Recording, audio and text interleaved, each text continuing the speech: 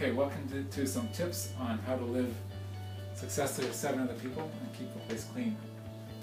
This is a little tutorial about the dish drainer. And when living in community with seven other people or more, it's important that this space is kept empty. So uh, whenever you can, pick up something and put it away. Keeping it empty. Now, as you can see, this is quite a hazard. Right here is a knife that's precariously perched. It might fall off or I could reach in here and inadvertently and cut myself. So knives always go back in the knife slot. Okay, it's best to avoid unnecessary hazards when living in community. This, see this knife sticking out here? This is a hazard for anybody who didn't put it in there.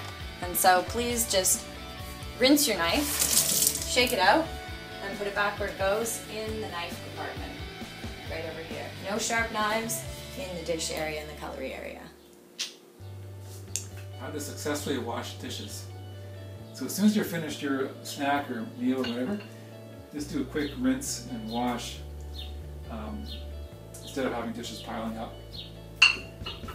It's a good idea to empty a few things, make some space for your dishes. Then Let's say if I have a pot I'm washing. Wash it. Generally don't put that in the dish rack. It takes up too much space. Put it over here, top of the stove. Once it's dry, you can go back up to where it belongs. And then wash your dishes. And if it's something like a, a little mug, just uh, flip the water off, put it straight on the shelf, plates we uh, sponge it. Plates we put in here usually. And at the very end, just squeeze out the sponge. Nothing, nothing worse than a soaking wet sponge. Okay, when living in community, it's great if um, you do one thing extra. So leaving the kitchen or the bathroom or any space cleaner than when you found it. So in this case, I could wipe the counter of any additional water spills, keeping this beautiful counter nice and fresh and clean for the long term. And also, this wasn't mine, and so I could wash it,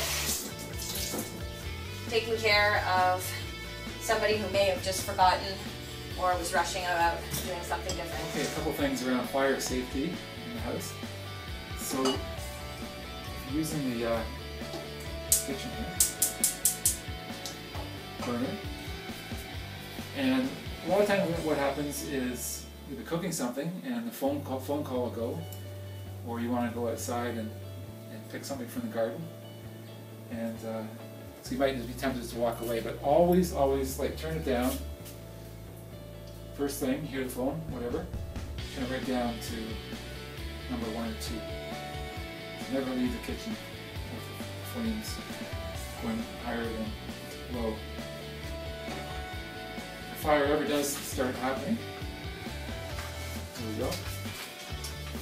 There's some baking soda for grease fires right above the stove.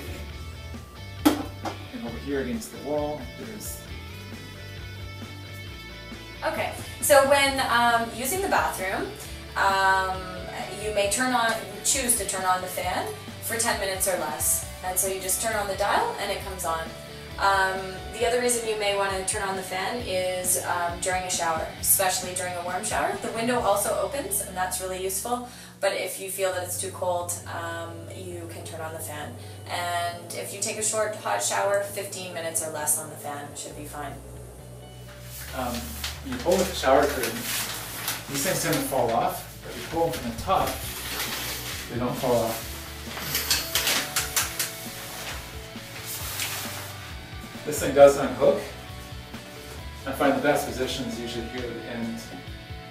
Some people balance it and also put it in other spots. To fit best at the end. Sometimes like this, kind of droop down, but it's like that. So you have your shower. Once you're done, um, just do a quick squeegee. The Walls, quick squeegee the floor. and then dry yourself in the shower. Keep the moisture down getting on the floor. And then usually after goes out again. If there does if there are a bunch of spills, there's a cloth underneath the sink. And you can wipe up any spills or puddles. And uh, if need be, swish out the toilet, uh, anything remaining in the toilet with the brush, and reflush if necessary. It's also important to clean the sink, and there's a, a little uh, cloth here for cleaning the sink. Wiping the sink, doing an additional amount if there's toothpaste left in there, if you left hairs, or if there's dust. Um, you know, every day or so there is dust that collects, and so wiping all the spit or anything else that needs to be wiped.